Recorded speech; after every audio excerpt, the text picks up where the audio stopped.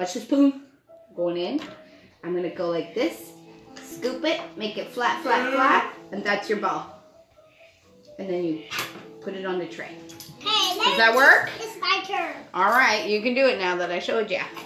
Got it? Oh, that was supposed to go on the tray. That was a good ball.